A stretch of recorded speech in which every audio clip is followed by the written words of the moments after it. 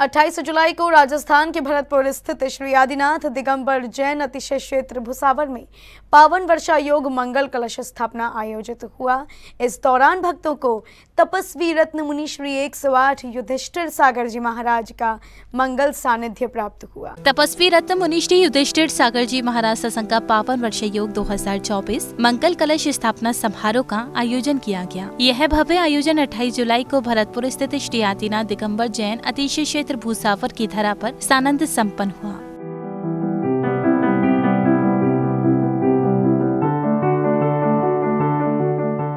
कार्यक्रम का शुभारंभ भक्तों ने विधान की मांगलिक क्रियाओं के साथ किया। विधान में मौजूद सभी महिलाओं ने संगीतकार के मधुर भजनों पर प्रभु भक्ति की।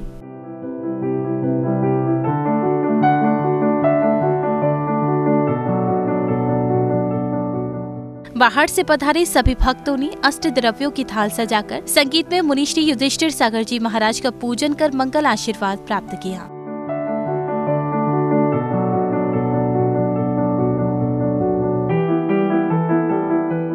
इसके बाद सौभाग्यशाली परिवारों ने विधानाचार्य जी के कुशल निर्देशन में मंत्रोच्चारण के साथ चातुर्मास मंगल कलशों को मंदिर परिसर पर स्थापित किया गया। कार्यक्रम में आगरा, भरतपुर, बयाना, दिल्ली, जयपुर की जैन समाज के लोग उपस्थित रहे। जैन फोकस के लिए भरतपुर राजस्थान ऐसी ब्यूरो रिपोर्ट।